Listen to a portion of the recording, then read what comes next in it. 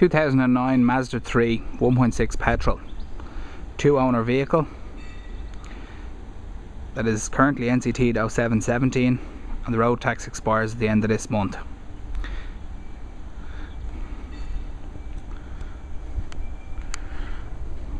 Front grille is broken on bumper.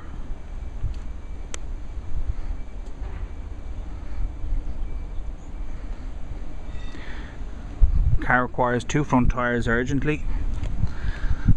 Four alloy wheels have corrosion on them.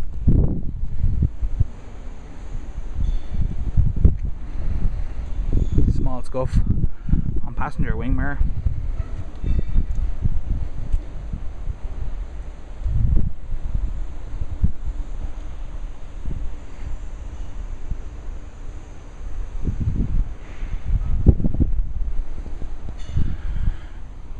Paintwork on rear bumper is cracked.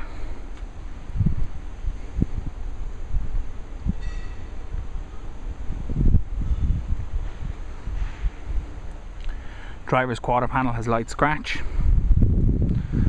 There's also a chip on the paintwork. Some marks in the rear door that were previously touched up. There are also marks on the driver's door edge.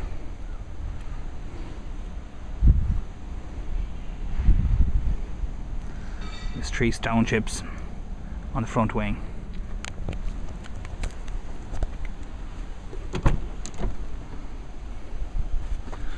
There are two keys, 152,000 kilometers. The manuals are there. It's a digital service history with three invoices, three service invoices. Car will require major valet inside.